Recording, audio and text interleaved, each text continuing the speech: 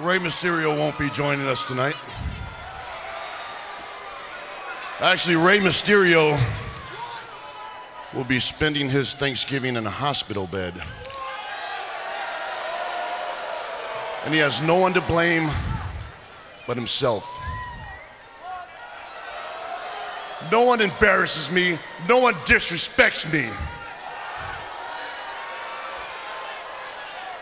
Which is why I'm here tonight to put everyone on notice by saying this. Someone from Raw had better win the Breakthrough Battle Royal.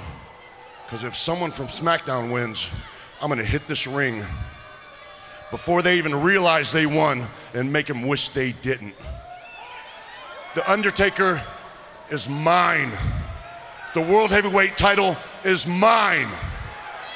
That's right, I said it. And no one alive is going to stop it.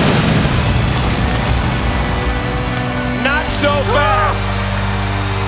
SmackDown's big red monster. It's Kane. What exactly constitutes disrespecting you? Does interrupting you as you stand in this ring making empty threats, does that embarrass you?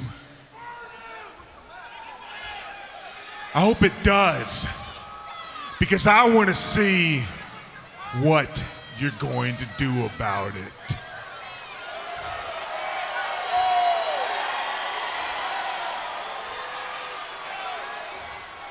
Please, Dave, please make an example out of me.